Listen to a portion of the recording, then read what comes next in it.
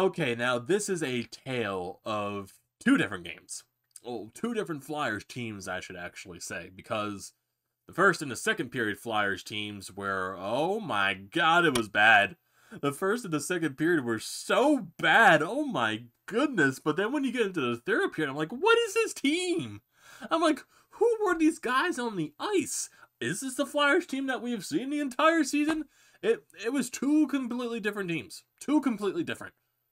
First and the second period. So let's start with that. But even even before we get into the first and second period, just like the the overall even going into this game. So it sounds like Alain Vigneault is doing like his typical thing and he calls out players when they're not doing good. And it sounds like Robert Hägg is going to be a guy that's going to be benched. And you're going to see Erik Gustafsson slide into the lineup. But then Alain Vigneault is also calling out a guy like Mark Friedman for not playing up to his standards. So it sounds like he is going to be benched. And then the Flyers are going to be bringing in a 34 year old defenseman who hasn't played in the NHL for over two seasons when they recalled him from the taxi squad in Nate Prosser. So going into the game, you were going to have a bottom pairing of Erik Gustafsson, and we all know the story about him the entire season, and Nate Prosser, and just going into that, I was I, I was I was about to barf. I was about to throw up physically and theoretically in my mouth because what? And I understand Robert Hägg and Mark Friedman haven't been playing good, but that's the best we got, I guess. I guess that's our other option. Because ugh, going into it on paper was just like, oh my god. It didn't look good, and you, you, you saw the reaction from Flyers fan base. It was just, it was just absolutely funny, though. It was, and then even going into the game, what happened was absolutely funny as well. So you're going into the game with Erik Gustafsson and a Prosser as your bottom pairing. But then also some other news going into in regards to into the future for the Flyers before we get into this game. So Alain Vigneault also talked about Sean Couturier, still saying that he's probably going to be a couple of weeks away at this point.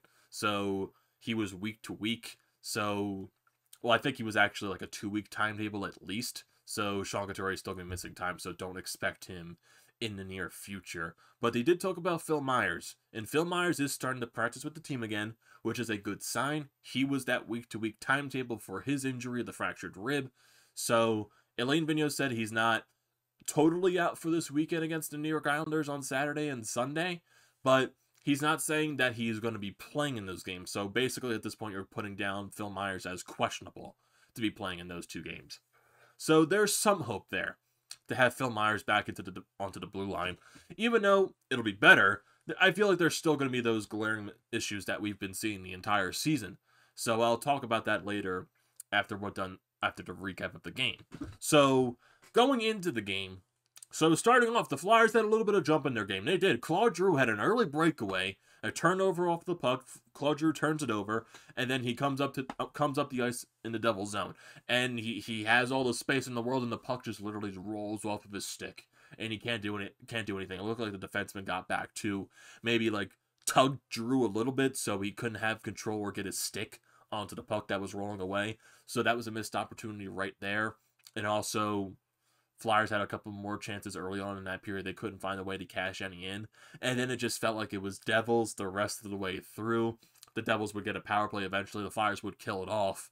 But we go a little before halfway into this period because this period did go by a little quickly. I think this was, like I said, before halfway, before the halfway mark. Both teams were on a line change. The Devils are still pressuring in the zone. Carter's having to make a few saves. And then, like I said, both teams are making a line change. You got Damon Se- Severson coming up the neutral zone into the flyer zone. And then you got Erik Gustafsson in the worst positioning possible, not even going after Se- Severson. And he just has all the open space in the world to take the shot on Carter Hart. And it goes off the post and goes into the net. So it's a 1 0 Devils lead a terrible positioning by Gustafsson, and maybe another goal that Carter Hart would want back. He's making saves early in this game too. That's definitely one of those goals that Hart would want back. I do feel like he needed to make the save, but then you can also put blame on Gustafsson for being in the worst position possible, not even putting any competition up on Severson just to allow him to take that wide open shot. But then the Flyers, a little over two, minute, two minutes later, they're getting a little forecheck in there from the Kevin Hayes line. Kevin Hayes doing a little bit of his things. There was a shift before that where he was trying to drag the puck a little way too much, and it caused into a turnover. But they had the puck in this zone for a little bit, and they're setting up stuff. The Flyers get some shots on net. I think this was a shot from JVR or this was a shot from Gustafsson. It goes off of the net. JVR trying to get the puck in there. He puts it over to the right side. And then who out of all the people driving the net? It's Nate Prosser. And he ties the game at one. So if I was on the watch party for the painted lines when this was happening, and I was just like I was just like, oh, they scored. And who was it? Who was it? I Was, like, was that Prosser? and I just I just couldn't help but release all the laughter in the world. I'm just like out of all the people in the world, the score goal, it was Nate Prosser. A guy that hasn't played in the NHL in over two years. He gets the goal. I'm just like, okay, it's, it, it's one of these situations. Okay. I see how it is, but I couldn't just contain the laughter. They have to say the Flyers tie the game at one. JVR and Gustafsson get an assist on the play. So, so yeah, one one. Then the rest of the period was all Devils, all Devils. They were getting chances left and right. The Flyers, they were just on their heels. They were standing still. Carter Hart having to make these saves. I think one of these saves happened in the second period, but like Carter Hart just haven't like even though they weren't the best of chances for the Devils, they were still chances nonetheless. Carter Hart making some nice saves on the penalty kill on a shot by Kyle Palmieri. So you go out of the period and you're still tied one to one. You were getting outplayed majority of it, and you still find a way to have the game tied. I think shots after the period, the Flyers were getting heavily outshot. It was like 14 to 4 after the first period or something like that. So you go into the second period, you have a little bit of jump again. You get some chances, but then it basically turns into the same situation as it was in the first period. But no goals were scored, but the Devils controlled the pace of the entire period. I was like, oh my god, the Flyers had a power play too in this period. They couldn't generate anything off of it.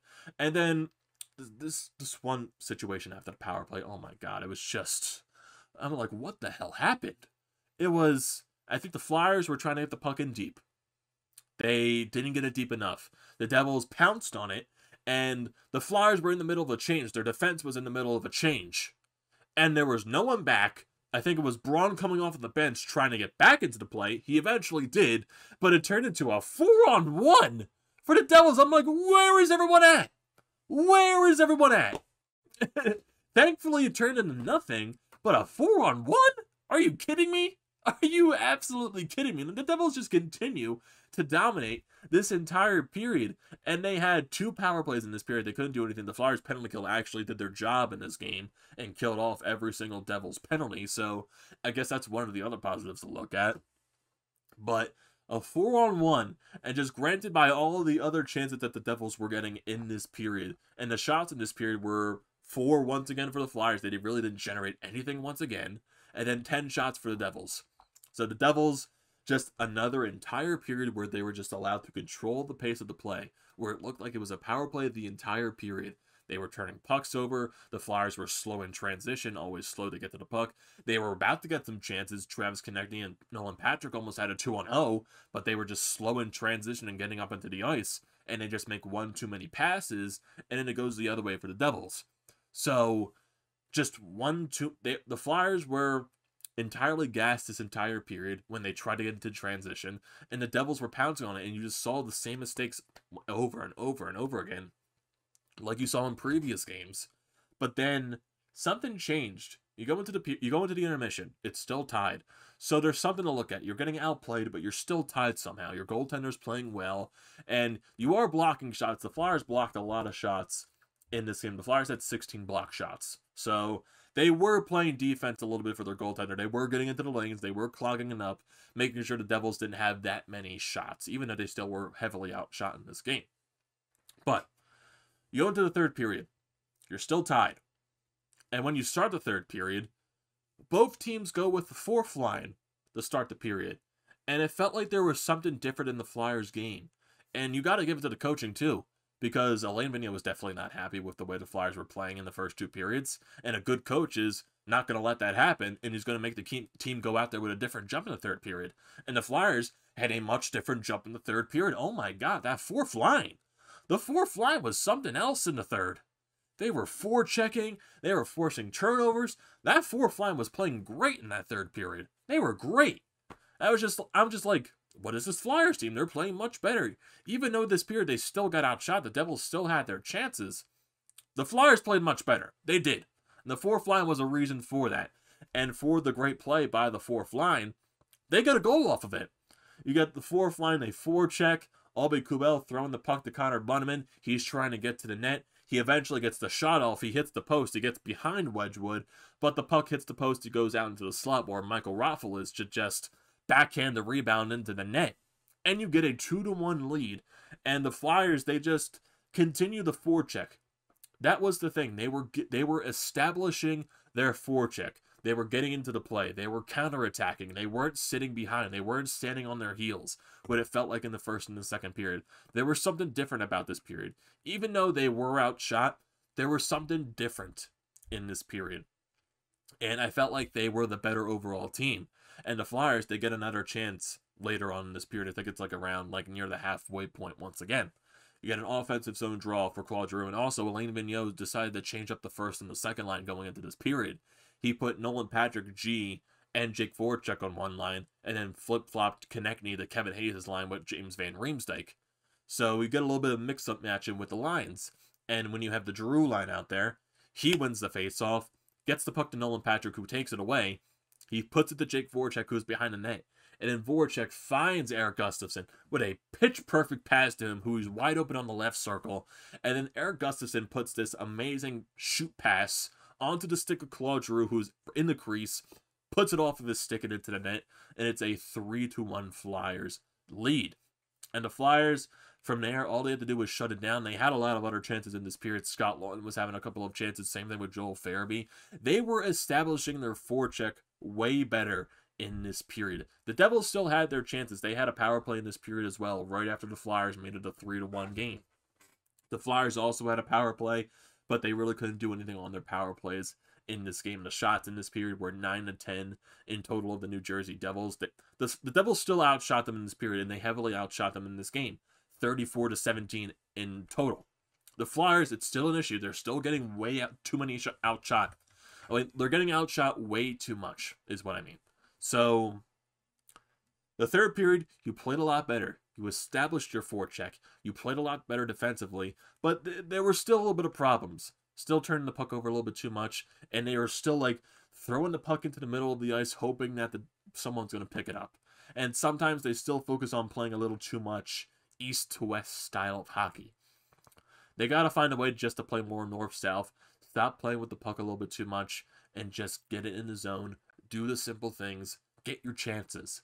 Because in the third period, they were getting their chances. In the first and the second period, they weren't getting their chances. Like I said, this was a tale of two different Flyers teams in this entire game. First and the second period was completely awful, and it was the same team for the first other seven games of the season. This third period was a completely different Flyers team. The mistakes were still noticeable, but they established their forecheck and they caused the Devils to be very uncomfortable in this period which is something else to, I guess, build off of. That's something you have to look forward to. Well, that's something you have to take out of this game. Look at the positive of what you did in that third period. Try to work that more into your game. Try to find that, make it established more consistently.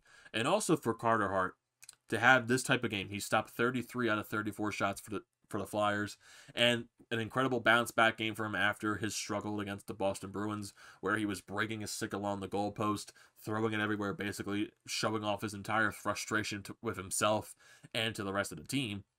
And I would say the team played a little bit more better in front of him. They were blocking shots. They allowed him to see the puck more easily. So he had a much better game, and he also made a, an incredible save in the second period, too. And it also felt like in that first and second period, Jack Hughes was just allowed to do whatever he wanted. In the third period, where the Flyers were forechecking and establishing their physicality, they played a lot better, and Jack Hughes didn't have as many chances. In the Devils, they pulled the goalie, I think, what around like, it felt like was like three and a half minutes left. And the Flyers, they were playing sound defensively. The Devils had some shots, and the Flyers were trying to clear the puck all the way down. Yeah, as Claude Giroux had had a chance to clear it all the way down, he missed the net. Scott Laughton trying to be way too pass happy, giving it to Provorov, couldn't get generated a chance going into the empty net. But hey, Flyers closed out this game. They win it three to one, and there are positives and negatives to take out of this game. I feel more better about this win than Tuesday's win, just because of how you played in the third period. On Tuesday, there was just a lot too much sloppiness going around the entire game. There was. Tuesday's game, it felt way more sloppy. Even though the first and the second period were incredibly sloppy and you were getting outplayed the entire time, the third period was a much better change of pace. It was. And that's something you have to find a way to build off of. Take the positives from that third period, you establish your forecheck, find a way to make the other team just fumbling. And you the Devils showed their mistakes because the Devils, they're a very young and talented team. They're not a good team. There's a difference between young and talented and young and talented and good. They're not a good team. They're just young and talented, and they're going to show their mistakes. And the Flyers exposed that in the third period by establishing their forecheck, and that allowed them to score two goals. So, it also helps when Mackenzie Blackwood's not in the net for the Devils either. That also helps a lot. So, it's going to be a tough task for the Flyers going into this weekend. They play the New York Islanders on Saturday and Sunday. And we all know the the heat between these two teams. The, there's definitely a lot of bad blood between these two. The, the, Islanders have had the Flyers number over the past year and a half, and especially going back into the playoffs where the Islanders won in seven games and basically just outplayed the Flyers the entire series, but the Flyers still found a way to force it to seven games somehow because of Carter Hart. So it's going to be a tough battle for the Flyers, and they got to find a way to build this positivity from this third period. Find a way to go into into this weekend's set of games. I wonder if the lineups are going to stay the same. Who knows with Alain Vigneault if he's going to mismatch the lineup once again. So we're just going to have to find find out until this weekend. Find out until the first practice. It's going to be very interesting. Definitely very interesting. But it is nice the Flyers have a two game win streak on their hands. They're 5 2 and 1 on the season. There's still a lot of things that they have to work out. And also just like maybe work out maybe um when I was talking about like a couple of episodes ago when I think the Flyers maybe do if the mistakes continue to happen, which sometimes they are, the, the mistakes do continue to happen. Maybe they do go out into the trade market because St. Louis they are looks like they're putting Vince Dunn on the trade market, a very young defenseman, very serviceable. He has a lot of he has a he's struggling a little bit with the St. Louis Blues right now, but he's a young guy. He's 24. He's played very well for the Blues over the past so many years. He won the cup with them in 2019. Has a very team friendly contract. I think at only one year left with like 1.8 million on the cap. So it's a very serviceable contract. But the only thing is, I think they're trying to demand a first round pick for him. So maybe with the way he's been struggling and the way he's been getting benched for the past few games, maybe that price drops a little bit and maybe the Flyers go out and attack.